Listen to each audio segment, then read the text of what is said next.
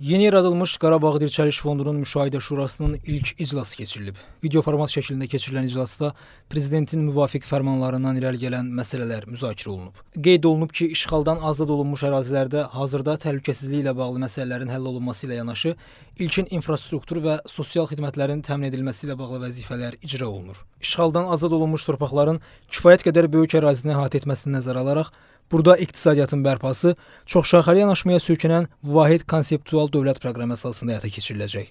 Proqramın qısa müddət ərzində hazırlanması və təsdiq edilməsi nəzərdə tutulur.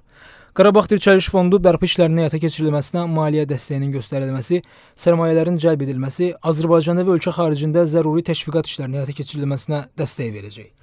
Bildirilib ki, fond özəl sektorun işğaldan azad edilmiş ərazilərdə fəaliyyətini layihə və təşəbbüslərini hərtərəfli dəstəkləyəcək. Onlara bütün zəruri hüquqi təşkilati dəstək göstərəcək.